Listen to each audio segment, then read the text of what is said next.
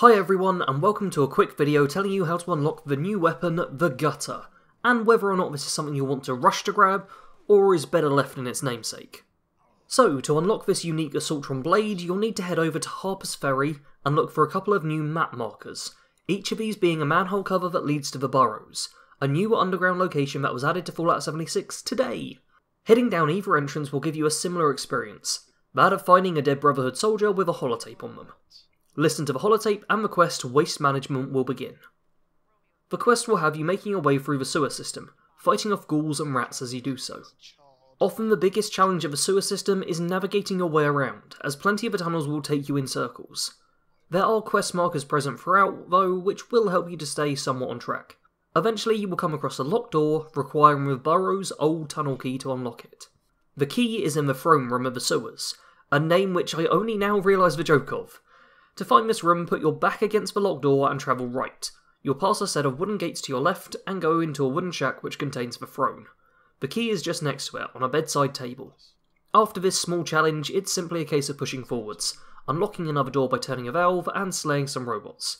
At the end of a dungeon is a security assaultron, which you'll need to kill to complete the quest.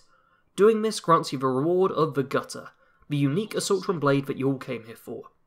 And just as a side note, time wise, you should be able to do this in about half an hour-ish, maybe 45 minutes. It's not a particularly long dungeon, even if you're going through fairly slowly and getting lost like we were. Now, on to whether or not this weapon is any good.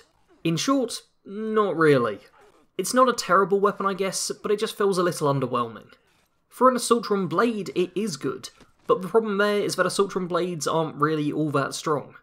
You can of course add the electrified mod to this to increase its damage, but even then this isn't going to blow you away.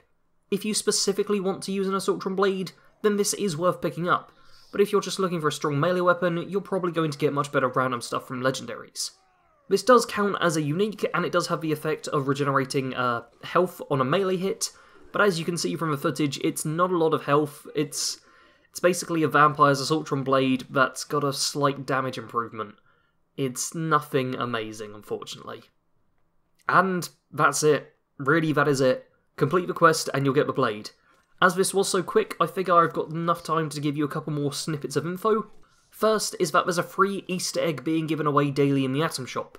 Log in each day and claim it in order to get a free prize at the end of a week.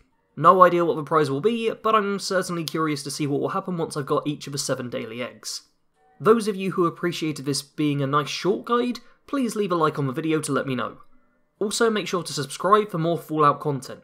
I actually have a very special Fallout project starting on Sunday, so I'd recommend everyone watching also turns on notifications, as it's really not something you want to miss out on. As always though, thanks for watching. Sarge out.